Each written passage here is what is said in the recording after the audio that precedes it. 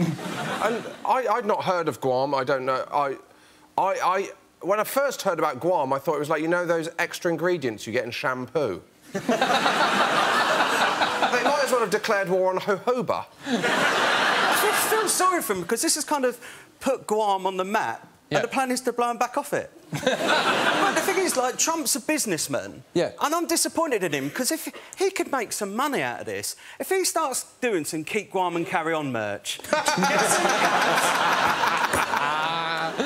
I, I mean, a lot of people this week were asking, where's Guam? Anyone familiar with Father Ted will know it was Mrs Doyle's favourite island. Guam, Guam, Guam.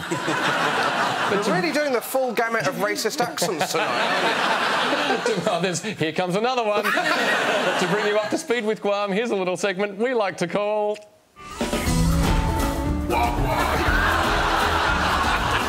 For the record, Adam didn't do that voice. OK, here are some Guam facts. Guam is the nearest US territory to North Korea and is home to 160,000 people, five important US military bases.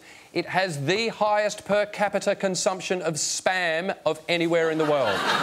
Is that, are they all still with Hotmail? so they've got themselves ready for nuclear war already then. so still loads of spam, that'll survive.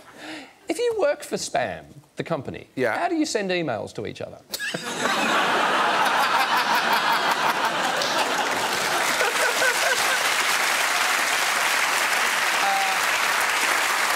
The...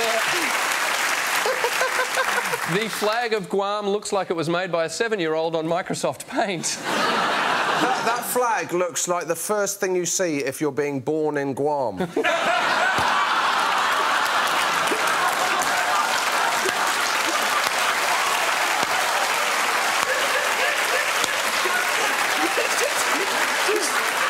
Just popping your head out. Oh, it's Guam, it could have been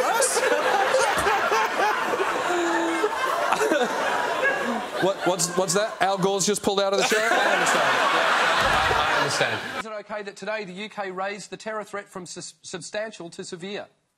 No. Is it OK that Australia has done the same, except theirs has gone from crikey to struth?